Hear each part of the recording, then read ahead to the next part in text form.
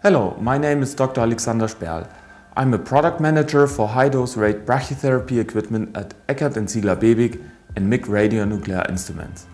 It is my pleasure to present the assembly and handling of the Contour prostate template for the high-dose rate brachytherapy treatment of prostate cancer. The Contour prostate template consists of the following parts. The Contour prostate template. It features a curved design that provides optimal fit to the patient's anatomy with suture holes for easy attachment. This is a large size version, however it is also available in a small size version.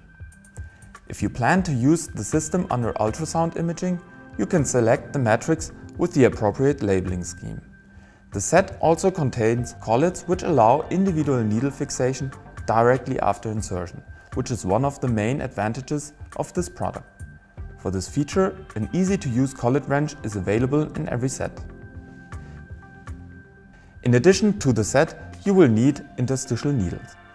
Let's begin with the setup of the equipment.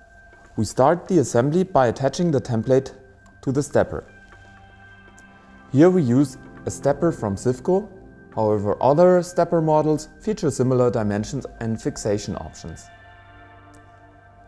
Next, we continue with the insertion of the interstitial needles.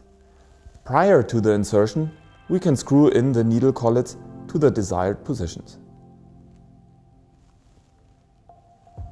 The collets should not be tight. One turn is already sufficient. In the next step, the needles are inserted. Here we show the insertion with interstitial needles made of steel from Eckert & Ziegler Bebig. It is up to you whether you wish to first insert all the collets, then insert all the needles or work through needle by needle. The second option is particularly helpful to identify the interstitial needles on the ultrasound image and it allows to reconstruct the needles on the treatment planning software directly after insertion.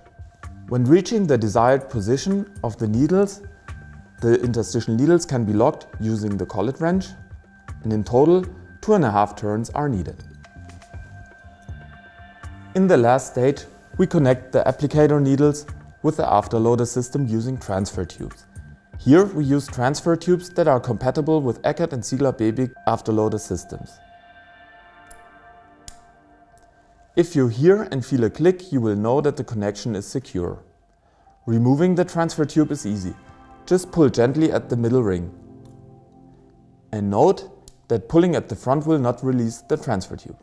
As you can see, the assembly of the Contour prostate template is easy and fast. I hope you enjoyed our demonstration video and please visit us on micknuclear.com.